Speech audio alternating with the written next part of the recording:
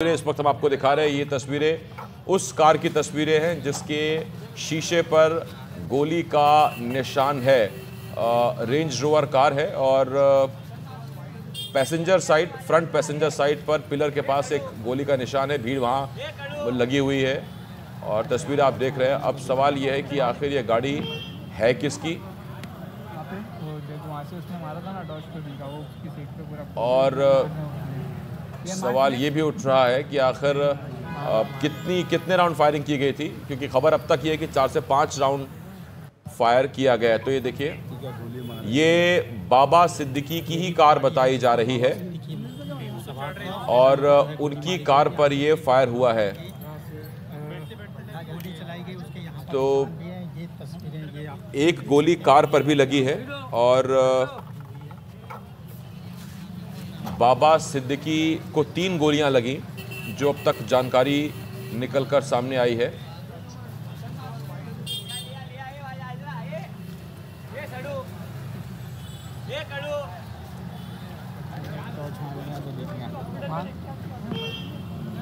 रौनक हमारे साथ लगातार बने हुए हैं। रौनक, क्या अपडेट आपके पास अब?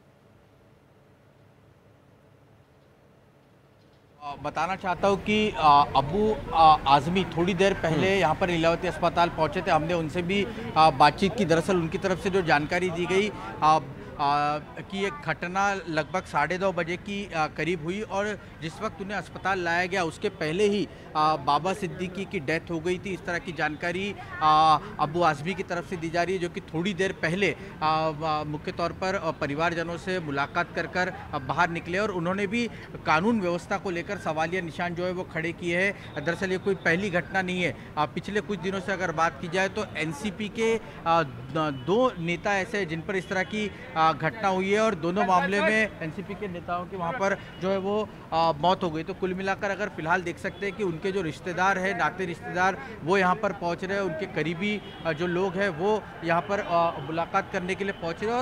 और फ़िलहाल ये बताया जा रहा है कि फ़िलहाल जो केस पेपर है आ, वो सभी तैयार किए जा रहे हैं और इसके बाद आ, उनके पार्थिव शरीर को यहाँ से पोस्टमार्टम के लिए ले जाया जाएगा। जे जे अस्पताल में पोस्टमार्टम जो है वो कराया जाएगा और उसके बाद बाकी की जो प्रक्रिया है वो की जाएगी। जी। रौनक जो आप बता रहे थे कि सलमान खान आ सकते हैं, कुछ और सेलिब्रिटीज आ सकते हैं, उस तरह की कोई सुबुगाहट, कोई गहमा गहमी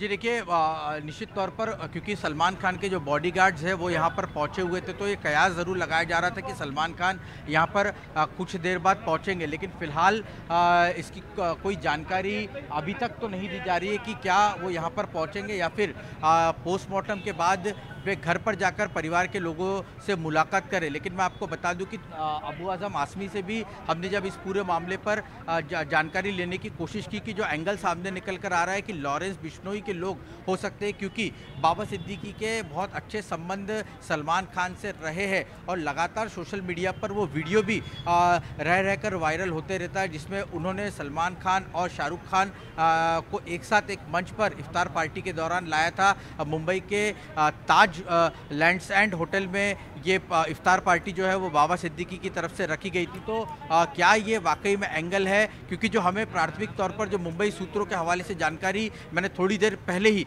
दर्शकों से जानकारी साझा की कि आ, जो सुपारी किलर वहाँ पर पहुँचे हुए थे उनके पास केवल बाबा सिद्दीकी का फ़ोटो था। बाबा सिद्दीकी किस तरह के शख्स है किस तरह की शख्सियत है आ, उनका कितना बड़ा अहदा है इस बारे में कोई भी जानकारी इन शूटर के पास नहीं थी केवल फ़ोटो और जगह बताई गई थी कि इस जगह पर इतने बजे बाबा सिद्दीकी मिल सकते हैं और आ, उसी के बिना पर ये फायरिंग की गई है। इस तरह की प्राथमिक जानकारी जो है मुंबई पुलिस के सूत्रों के हवाले से हमें मिल रही है। जी। बहुत धन ये जानकारी बहुत अहम है जो आप रौनक दे रहे हैं। और देखिए, वो कार भी इस वक्त हम आपको दिखा रहे हैं range rover car.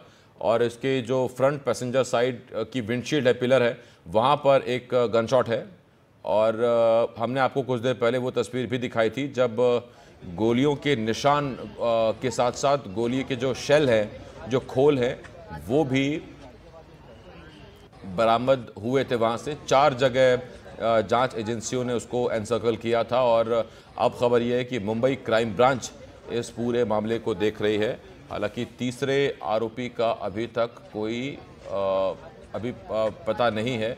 Mumbai crime branch उसे ढूँढने की कोशिश कर रही है। इधर मुकेश सिंह सिंगर हमारे संवाददाता उन्होंने बताया कि दिल्ली से भी एक पुलिस टीम रवाना हुई है जो मुंबई पुलिस को इस पूरे केस में हेल्प करेगी। और क्योंकि लॉरेंस बिश्नोई एंगल से भी इन चीज़ों को देखा जा रहा है।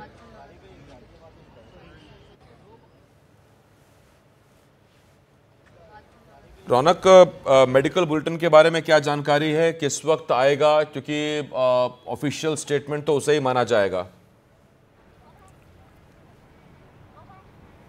और जी देखिए अभी थोड़ी देर पहले जब अबू आज़म आसमी से बात हो रही थी उनका कहना है कि पंचनामे को लेकर और जो अस्पताल के कुछ कागजात बनाने होते हैं उसकी प्रोसीजर चल रही है और मुझे लगता है उसके तुरंत बाद ही अस्पताल की तरफ़ से आधिकारिक जो बुलेटिन है जिसका इंतज़ार कई लोग कर रहे हैं वो जानकारी जो है वो लो, लोगों तक अस्पताल प्रशासन साझा कर देगा। लेकिन मैं आपको एक कल की बात बताना चाहता हूँ। कल एनसीपी अध्यक्ष अजीत पवार की मुंबई में एक प्रेस कॉन्फ्रेंस थी। उस प्रेस कॉन्फ्रेंस को अटेंड करने मैं भी आ, गया था और उसी दौरान प्रेस कॉन्फ्रेंस खत्म होने के बाद बाबा सिद्दीकी से लगभग आ, 20 मिनट तक हमारी बातचीत हुई। दरअसल आने वाले विधानसभा चुनाव को लेकर पत्रकारों के पास क्या कुछ जानकारी है क्या सोच रहे हैं क्या कुछ माहौल लग रहा है इसकी जानकारी उन्होंने मुझसे लेने की कोशिश की और मैं बाबा सिद्दीकी को लंबे समय से जानता रहा हूँ। विधानसभा में जब विधानसभा कवर करता रहा हूँ ऐसे में जब वो विधायक थे उस दौरान से मैं बाबा सिद्दीकी के संपर्क में हमेशा से रहा।